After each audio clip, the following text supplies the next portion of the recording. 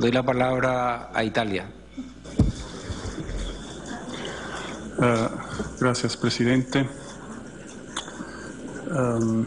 Yo, no voy a, repetir lo que, lo que dije, dije antes, repetir la versión de uh, lo, que, lo que dijo el ministro de Asuntos Exteriores de Italia al Parlamento Europeo sobre la caducación automática y naturalmente queremos tener, eh, seguir teniendo eh, excelentes relaciones con, con, Bolivia y las tenemos y son, y son muy importantes para nosotros. Eh, pero quiero eh, insistir sobre un punto que está en la declaración, el punto tercero, donde se dice que el avión, eh, el tercero del considerando, se dice que el avión se vio forzado a aterrizar en emergencia en Viena por la cancelación de las autorizaciones previamente de Italia y otros.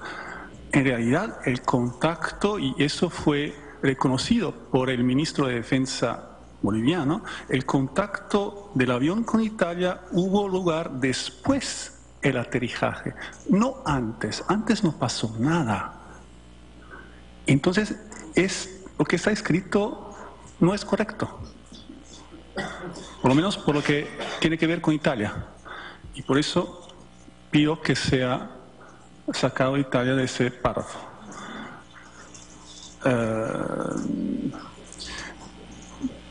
por lo que